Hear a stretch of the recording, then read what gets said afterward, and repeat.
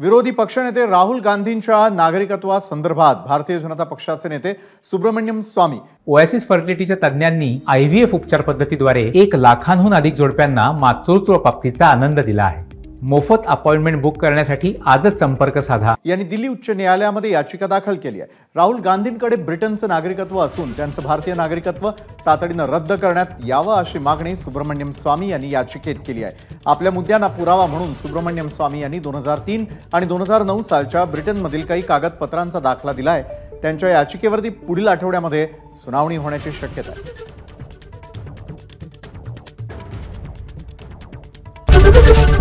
ABP माझा.